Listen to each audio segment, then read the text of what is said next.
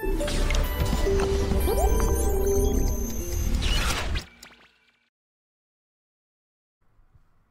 guys, so I hope your exam preparations have all been going well. So in this video, I just want to go through some couple of key points in regards to how to answer questions regarding the description of graphs, which they will definitely ask you in your paper 4 theory examination. So let's go through a couple of these questions and I'll go through how I would have answered them. So this question here is about the enzyme catalase that you find in lettuce leaves. They say that a student investigated the activity of the enzyme by grinding some lettuce leaves and adding them in a solution of hydrogen peroxide. The volume of oxygen produced was measured until the reaction stopped. And you can see that this was plotted on the graph where you've got the volume of oxygen collected on the y-axis uh, with time plotted on the x-axis. And so they ask you to basically describe the results shown in figure 1.3 and that you will gain credit if you use data in your answer. And so here I would have initially said that looking at the general pattern, you do get the increase in the volume of glass, gas sorry, collected from one, 0 to 120 seconds. So the starting point of the graph is at 0 centimeters cubed collected and ends at 6 centimeters cubed collected over the period of 120 seconds. Now you can see that there is a fairly initial in, uh, rapid increase of volume uh, uh, volume collected from 0 to 40 seconds. So this region here up until the 40 second mark where you can see that it's around 5.4 centimeters cubed collected. That's when there's the most rapid change from 0 to 5.4. But then you start to see that things start to slow down a little bit, and that's what you would have mentioned in your answer. And then it reaches this period where the graph plateaus out.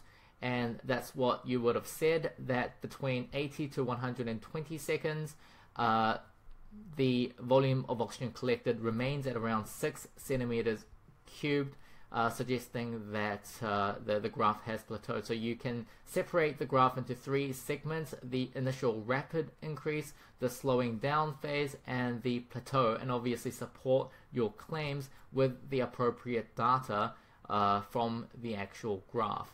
So those are three very easy marks. Uh, let's just take a look at another question. If we go all the way down to page 40, we've got another graph here. Uh, they say that uh, the enzymes in bean seeds are activated during germination. Some of these enzymes break down proteins stored in seeds. A large number of these bean seeds were soaked and germinated. Researchers took samples of germinating seeds over a period of 15 days. And so the seeds were chopped into small pieces and crushed with water to make an extract. Equal quantities of the extracts were placed in the protein solutions of pH 5 and pH 8. The activity of the enzymes in each extract was determined by recording how quickly the protein was broken down. And here are the results in figure 3.3. So here the y-axis is the enzyme activity in arbitrary units and also the x-axis being the time or the days. So they ask you to describe the activity of the enzymes in extract at pH 5. So we can ignore pH 8. This is what we're concerned about. And so let's separate this graph into its different components, right? You can see in this region here, there's a very sort of uh, mild or little activity. Whereas from this point to this point, you start to get a fairly rapid increase. And from this point to this point down here, you get a moderate decrease. So we've got three different parts of the graph that we can describe.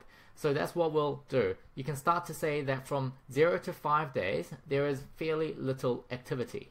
And that the activity starts to increase fairly rapidly from day 5 to around day 11, which is this second part of the graph there. And you should have told them as well that the increase is from around 2 units to around 37 units. And that 37 unit mark is also the peak of the graph as well. So if you have this sort of graph where it obviously goes up and starts going down again, it's quite important or it, it would be nice to tell the examiners that you know that the graph peaks at a certain point, which is at day 11 at, at 37 units in this particular graph.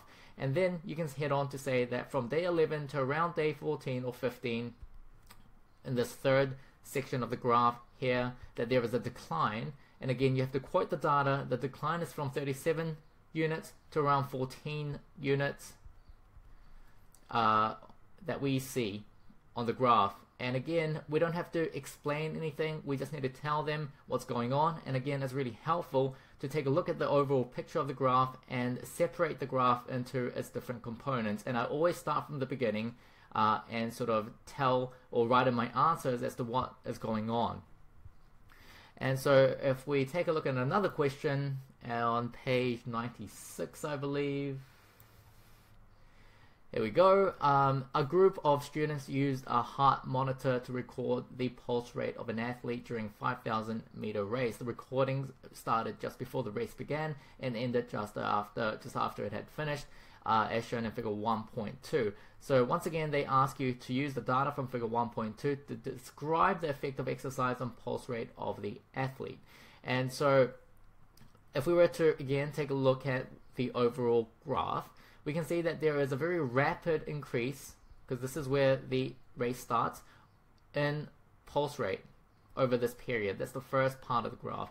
Then you see this second part here, where the heart rate or the pulse rate remains constant okay? It starts to go down again but that's irrelevant because the end of the race is sort of at this point here. So there's two main parts to this graph that you can describe. The idea that initially it, it goes up really rapidly and then it stays constant. So uh, what we would have said here is that there is a rapid pulse rate increase from around 44 beats per minute to around 168 beats per minute and that happens over the 2 minute to 4 minute mark and you could have also said that, again, the peak of the graph sits at 168 beats per minute, and that occurs at the 4 minute mark, and it stays constant at around 168 beats per minute for the duration of the 4 to 14 minutes.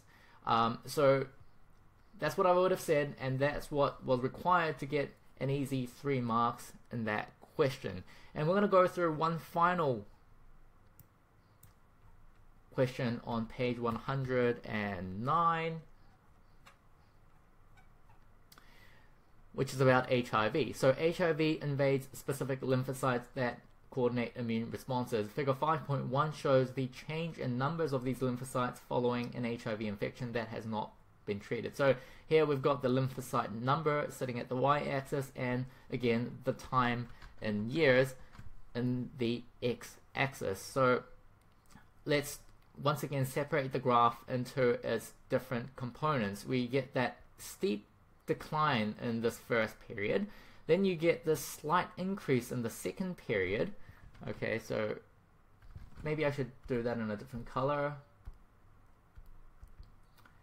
Um, this is the second period and you get that gradual decline in the third period of the graph okay and all we're going to do is describe each of these with the relevant quote from the graph. So there's a steep decrease in the first two months, okay, from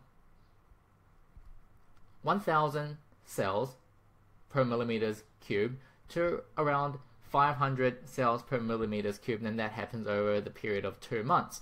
And then you can say that there is a increase from that 500 centimeters, uh, sorry, 500 cells per millimeter square mark to around 650 to 670 cells per millimeters cubed. And then that there is a gradual decline during the 10 year duration to an endpoint of around 40 cells per millimeters cubed. Okay, and that was all you needed to say for the three marks. So as you can see, all you need to do is once again separate the graph that you're looking at into its separate components uh, and uh, just basically describe it with the quotations from the graph and that will give you very, very easy marks for your examination. So I hope that helped you guys and I will see you in the next video.